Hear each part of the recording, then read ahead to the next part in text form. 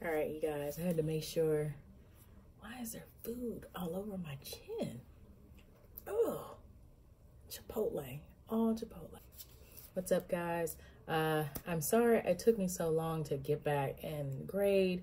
Um, I did get your feedback from your discussion post, um, and I wanted to address that because I want to say, for me personally, it's helpful for me to understand how I can accommodate you guys a little better, and I'm so appreciative for your honest feedback. Um, you'll notice in this course, I am a little lenient. Um, I know some of you guys have repeated the course, um, but because of COVID going on, I know most of us, including myself, we thrive in a face-to-face -face environment, especially with this kind of content. So um, I am being lenient with some things, but I'm not going to be lenient with everything, okay?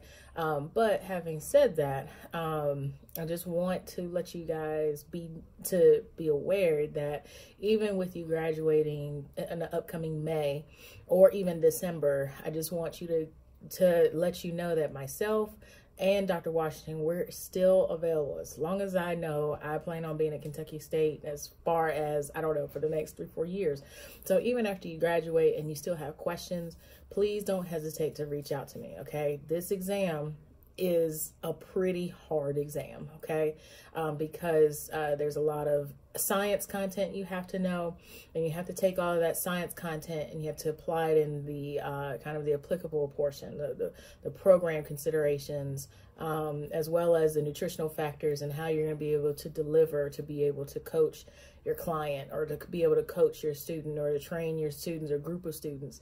Uh, so this content isn't, oh, I'm going to learn this now and I'm going to wow the exam in the future by summer. Okay. It's, it's all right for you to take your time, pace yourself and really take some time to really understand, okay, what is it that I really need to know about this exam? For me, there's different parts of the exam that I need to know, right? I've worked in fitness for years. There's still parts that I'm still learning. There's still parts that I still struggle with.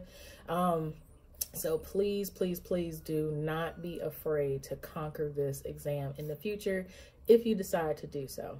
All right. So one of the good things that helps me, I will say this as far as preparing for the exam, uh, one of the good things that helps me is that I've been in, I've done programming before. So where a lot of people have done well in the science aspect of it, and some people don't do well in the programming aspect of it, I'm almost the reverse. I can actually do well in the programming part, but you know, the science part, I still have to get some tweaking in there and that's okay. All right. I don't want you to beat yourself up to say, oh my gosh, this is dreadful. This is dreadful. It all, it's all about what you can do and what you accomplish.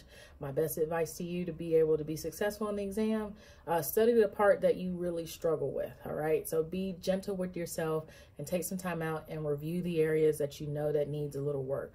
Maybe kinesiology was one of those things that, you know, tripped you up. That's fine. Go back and look over biomechanics, okay?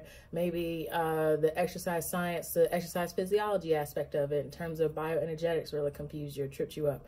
It's easy. It's, it's so involved, so it can easily trip anybody up, okay? Definitely go back and review that. Take some time out to look at the videos that I've posted.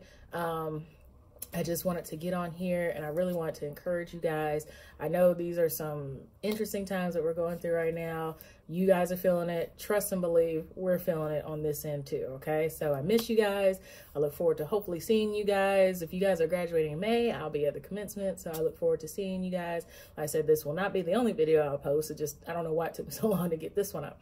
But um, if you guys have any questions, please don't hesitate to reach out to me, all right? Y'all know I'm here go through the Remind app, get those questions in,